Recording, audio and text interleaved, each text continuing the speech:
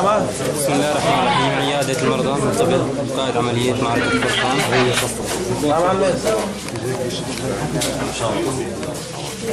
ما في شيء